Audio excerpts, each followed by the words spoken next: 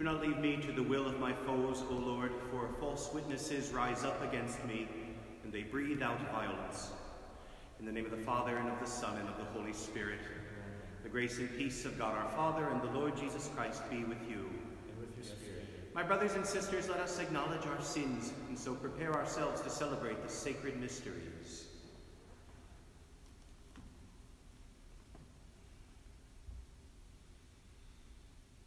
Lord Jesus, you came to reconcile us to one another and to the Father. Lord, have mercy. Lord, have mercy. Lord Jesus, you heal the wounds of sin and division. Christ, have mercy. Christ, have mercy.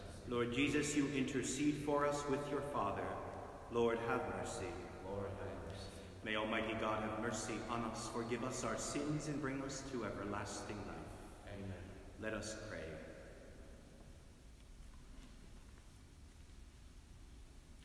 Almighty, ever living God, grant us so to celebrate the mysteries of the Lord's Passion that we may merit to receive your pardon.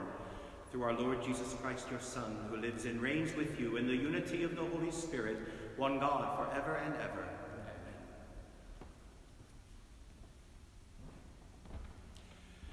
A reading from the book of the prophet Isaiah. Hear me, O islands, listen, O distant peoples. The Lord called me from birth. From my mother's womb, he gave me my name. He made of me a sharp-edged sword and concealed me in the shadow of his arm. He made me a polished arrow. In his quiver he hid me. You are my servant, he said to me, Israel, through whom I show my glory. Though I thought I had toiled in vain and for nothing, uselessly spent my strength, yet my reward is with the Lord, my recompense is with my God. For now the Lord has spoken, who formed me as his servant from the womb, that Jacob may be brought back to him, and Israel gathered to him. And I am made glorious in the sight of the Lord, and my God is now my strength. It is too little, he says, for you to be my servant, to raise up the tribes of Jacob and restore the survivors of Israel. I will make you a light to the nations, that my salvation may reach to the ends of the earth. The word of the Lord. Thanks be to God. I will sing of your salvation. I will sing of your salvation. In you, O Lord, I take refuge. Let me never be put to shame. In your justice, rescue me and deliver me. Incline your ear to me and save me. I will sing of your salvation. Be my rock of refuge, a stronghold to give me safety. For you are my rock and my fortress. O my God, rescue me from the hand of the wicked. I will sing of your salvation. For you are my hope, O Lord, my trust, O God, from my youth. On you I depend from birth. From my mother's womb, you are my strength. I will sing of your salvation. My mouth shall declare your justice, day by day your salvation. O God, you have taught me from my youth. Until the present, I proclaim your wondrous deeds. I will sing of your salvation.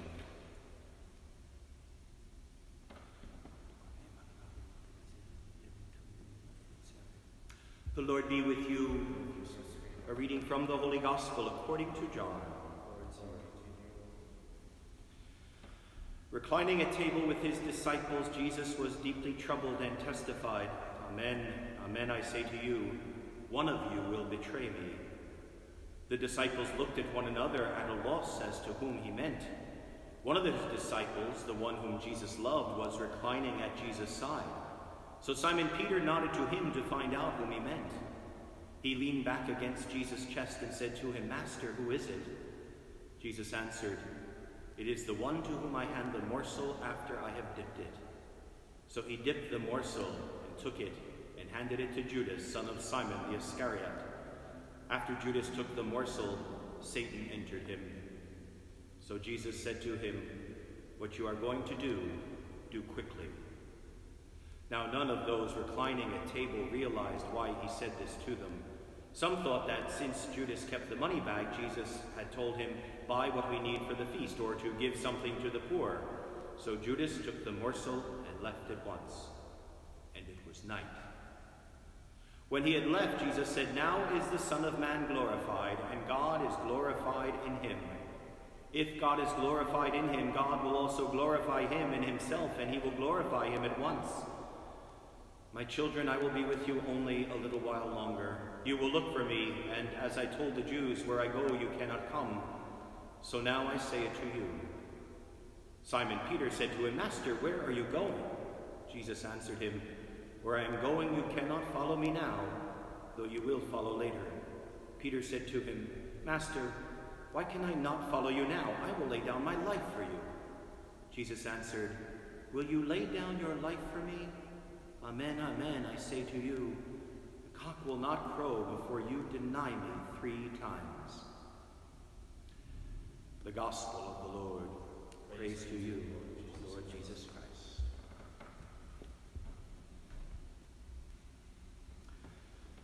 Monday, Tuesday, Wednesday of Holy Week, other than the Lord, the name that comes up is Judas, Judas Iscariot.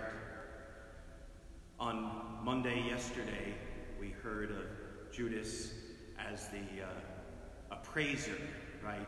He's watching as Mary, the sister of Martha and Lazarus, takes this costly perfume and pours it on the feet of Jesus, anointing him, maybe a foreshadowing of the anointing after death happens to bodies right? And Judas says, this could have been sold for a hundred days' wages. Why are we wasting it in such a way, right? Archbishop Fulton Sheen used to say, uh, you know, Judas Iscariot knew the cost of everything and the value of nothing. He didn't understand what it meant, what it represented. Like Father Michael said yesterday, that gift that she was giving, that came out in an exterior way in the, in the perfume and the nard, but more importantly was about the gift that she gave herself, right? Tomorrow, we'll see Judas the negotiator right? Because tomorrow in Matthew's gospel, we'll hear him approach the temple officials and say, how much, how much is he worth to you? What do you, what do you give me, right? We know it'll be 30 pieces of silver, right? It's the cost of a slave, but we'll hear him in that way. So what do we have today? Today we have Judas the liar. In what way? Well, people didn't sit, and no matter what Leonardo da Vinci's very famous painting of the Last Supper shows us, people didn't sit at chairs and tables as we do today. Um, in the movie uh, The Passion of the Christ, there's a little flashback during the Passion where uh, Jesus, the carpenter, shows Mary, his mother, this table, and, and she says, What would you use that for? It was foreign to them. The idea of sitting at table was not about something about waist high like we're used to. Tables were low. Think of it like a, an end table or coffee table in a house. And what did they do? They didn't have chairs. So when they sat, they sat on cushions, big cushions, and they leaned. So it would have been you sat on your left side and you reached in, and this allowed you to reach for food and feed yourself. No knives, forks, and spoons. So let's do a little, what would you call it, NCIS Jerusalem, right? What's happening on that Last Supper as we read the Gospel, right? When you were leaning, you were leaning side by side. So the person who was next to you with your head was about here we hear that, you know, Jesus says, one of you will betray me. And uh, so we can see, you know, the beloved disciple, the one who Jesus loved. In John's Gospel, we believe it's John talking about himself. He's close enough. He must be to the right of Jesus, where Peter, who must be on the other side of John, leans over to John and says, Ask him who it is. So John leans his head over, Who is it? And John gets the tell. I'm going to tell you, I'm going to show you. The one who I dip the bit of food, the bit of bread, morsel into the, into the sauce and hand it to. And he hands it to the person on his left. And it's Judas, right?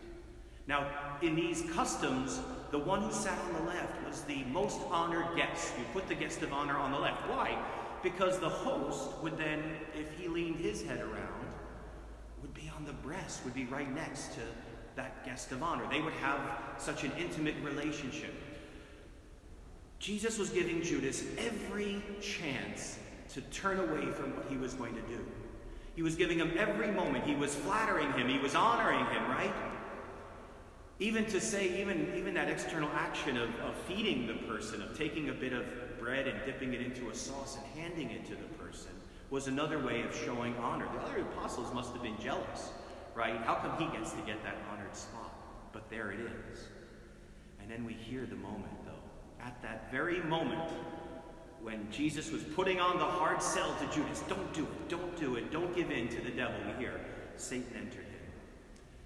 And Jesus recognizes, he did it in Peter. Get behind me, Satan, he says to Peter when he says, You don't, you know, God forbid you should go to the cross. So Peter, uh, so John has, So uh, Judas, devil has entered Judas. Jesus recognizes it, and he's, I've tried, I've done what I can. It's up to you, and you've chosen this. What you are about to do, get it over with. Do it quickly, right? And then we get that line from John, and it was night. It's not just about what time of day it was, it's about the darkness inside of Judas, the despair, the frustration. You're not the Messiah we wanted. You're not the one. Right? And so Judas runs off. The others think he's, you know, going off to do some act of kindness. He's going to take some of our money and give to the poor as they did at Passover. If they knew what he was going to do, James and John, the sons of thunder, would have stood at the door. You know, Judas never would have made it out the door to do this. But yet there goes John, uh, Judas to go do this along the way. We get really two different people there because the rest of the gospel tells us Peter says, You know, I'll be with you, Lord. We're not going to let you die. We're not going to let you go alone. I'll defend you. Course, Jesus foreshadows, You, you will de- deny me three times before morning, before the cock crows. Judas and Peter deny Jesus, right?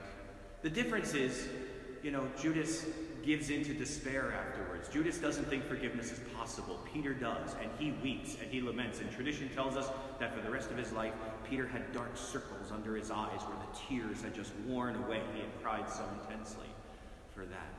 And so, it's a reminder for us. We think our sins are too bad. We think we cannot change. We think we're stuck in our ways. We think that addiction or that habit or that attitude we have is not fixable. I can't change at this point. Jesus is there next to us saying, You can do it, do it. But he honors our free will, the gift we were given from God. He's not going to force us, right? It said the church doesn't impose, it proposes teachings. And the same for him. He leaves it to us, but we have to trust, like Peter does, even if it means with tears and repentance, that we can change. So today, we're there at that Last Supper. God, like Isaiah says in the first reading, wants to honor us, wants to call us a beloved son or a beloved daughter of his family. But we have to want it. We have to say yes. And he'll help us, he'll guide us. And if we fall, right, like Peter, we see later on, the Lord gives us the opportunity for forgiveness, to undo the knot we did. It's one of Pope Francis's favorite devotions. Our Lady and the undoer of a knot. Sometimes we've made some pretty tight knots in our life, and perhaps Our Lady has helped us to undo that knot, to make things straight again. We ask her again to continue to help us, to guide us. And we thank the Lord for the gift of his forgiveness, for his mercy, and that especially as we enter these days now, we learn from the lesson of Judas that even if we mess up, we turn to the Lord. We say, Lord, I love you. Forgive me.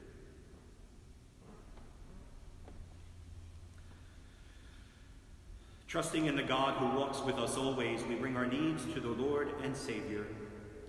For all members of the church, may Christ strengthen us as we share the good news of the gospel. We pray to the Lord. Lord, hear our prayer. For leaders and those who carry responsibility for the welfare of others, may Jesus guide them in the ways of servant leadership. We pray to the Lord. Lord, hear our prayer. For those who are struggling or suffering, may God's love and presence with them bring consolation and comfort we pray to the Lord. For all of us, may God open our hearts more fully and increase our faith in him. We pray to the Lord. Lord, hear our prayer. For an end to this pandemic, for healing for those who are ill, and for guidance and strength, wisdom to those who are caring for our sick, we pray to the Lord. For those who have died, may they rest in the loving presence of God. We pray to the Lord for Ronald Lee and for Carmen Zapula, for whom this Mass, these Masses are being offered. We pray to the Lord.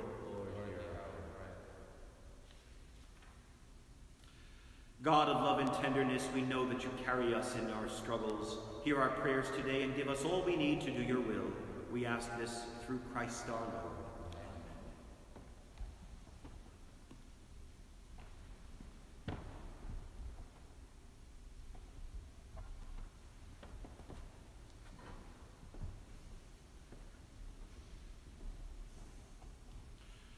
Blessed are you, Lord God of all creation, for through your goodness we have received the bread we offer you, fruit of the earth and work of human hands, and will become for us the bread of life. Blessed be God.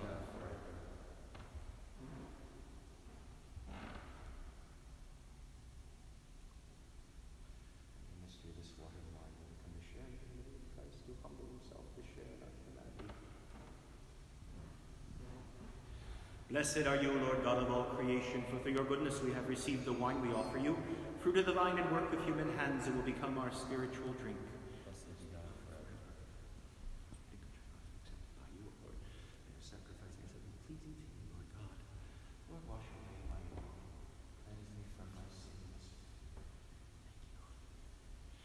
Pray, my brothers and sisters, that my sacrifice and yours may be acceptable to God, the Almighty Father. May the Lord accept the sacrifice at my hands. Praise and glory of his name, for our good and the good of all his holy church. Amen. Look favorably, O Lord, we pray, on these offerings of your family, and to those you make partakers of these sacred gifts, grant a share in their fullness through Christ our Lord. The Lord be with you. Lift up your hearts. Let us give thanks to the Lord our God. It is truly right and just, our duty and our salvation, always and everywhere to give you thanks, Lord, Holy Father, Almighty and eternal God, through Christ our Lord. For the days of his saving passion and glorious resurrection are approaching, by which the pride of the ancient foe is vanquished, and the mystery of our redemption in Christ is celebrated. Through him the host of angels adores your majesty and rejoices in your presence forever. May our voices, we pray, join with theirs in one chorus of exultant praise as we acclaim, Holy, holy, holy, Lord God of hosts. Heaven and earth are full of your glory. Hosanna in the highest. Blessed is he who comes in the name of the Lord. Hosanna in the highest. You are indeed holy, O Lord, the fount of all holiness. Make holy, therefore, these gifts, we pray, by sending down your Spirit upon them like the dewfall, so that they may become for us the body and blood of our Lord Jesus Christ. At the time he was betrayed and entered willingly into his passion, he took bread, and giving thanks, broke it and gave it to his disciples, saying, Take this, all of you, and eat of it, for this is my body, which will be given up for you.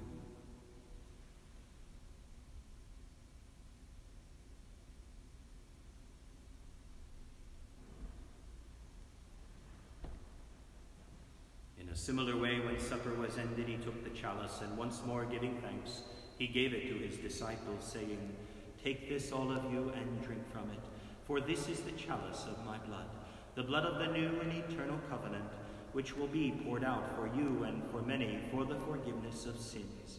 Do this in memory of me.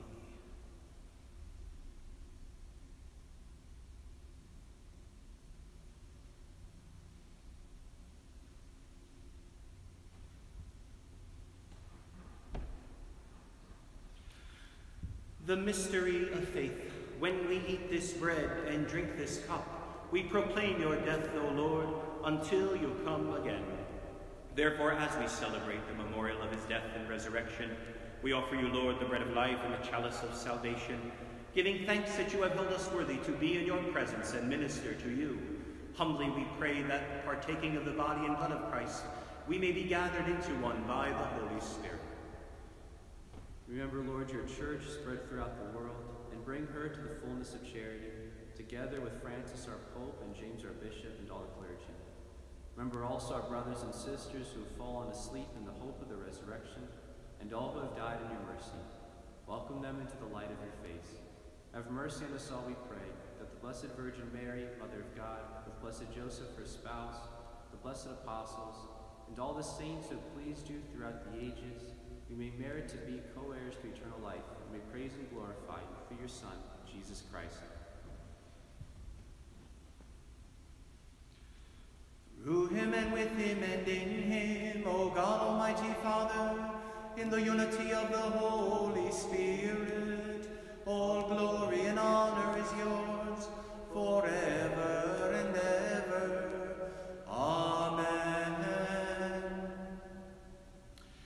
The Savior's command and formed by divine teaching, we dare to say, Our Father, who art in heaven, hallowed be thy name. Thy kingdom come, thy will be done on earth as it is in heaven. Give us this day our daily bread, and forgive us our trespasses, as we forgive those who trespass against us. And lead us not into temptation, but deliver us from evil. Deliver us, Lord, we pray, from every evil. Graciously grant peace in our days, that by the help of your mercy we may be always free from sin and safe from all distress, as we await the blessed hope and the coming of our Savior, Jesus Christ. The kingdom, the power, and the glory are yours now and forever. Lord Jesus Christ, who said to your apostles, Peace I leave you, my peace I give you. Look not on our sins, but on the faith of your church. Graciously grant her peace and unity in accordance with your will, who live and reign forever and ever. Amen. The peace of the Lord be with you always. And with your spirit. Lamb of God, you take away the sins of the world. Have mercy. on us. Lamb of God, take away the sins of the Eternal world. life to Have us. mercy on us. Lamb of God, take away the sins of the world. Grant us mercy.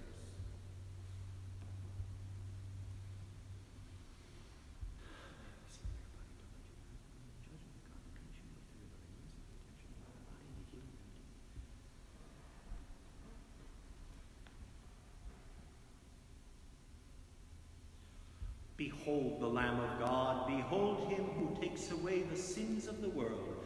Blessed are those called to the supper of the Lamb. Lord, I am not worthy that you should enter under my roof, but only say the word, and my soul shall be healed.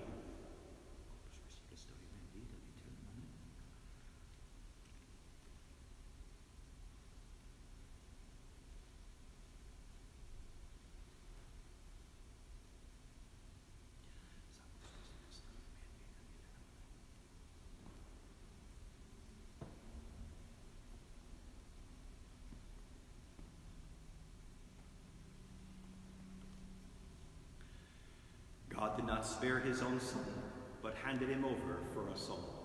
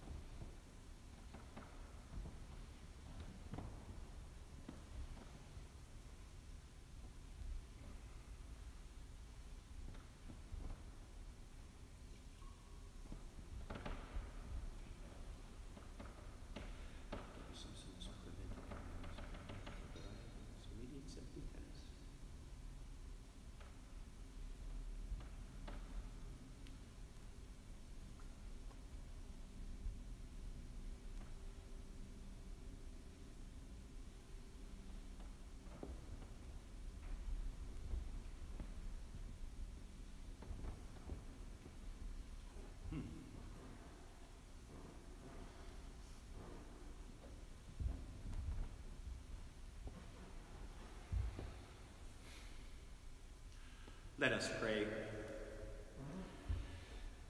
Nourished by your saving gifts, we beseech your mercy, Lord, that by this same sacrament with which you have fed us in the present age, you may make us partakers of life eternal through Christ our Lord. Reminder that today, Tuesday, April 7th, the church will be open uh, following Mass now up until 7 p.m. with exposition of the Blessed Sacrament from 12 noon to 3 p.m. When you come in, please just be aware of distancing, sit apart. Uh, big church, lots of pews. Uh, keep yourself uh, safe. The Lord be with you. Bow your heads for the blessing. May your mercy, O God, cleanse the people that are subject to you from all seduction of former ways, and make them capable of new holiness through Christ our Lord. May the blessing of Almighty God, the Father, and the Son, and the Holy Spirit come upon you and remain with you forever. Go in peace, glorifying the Lord by your life.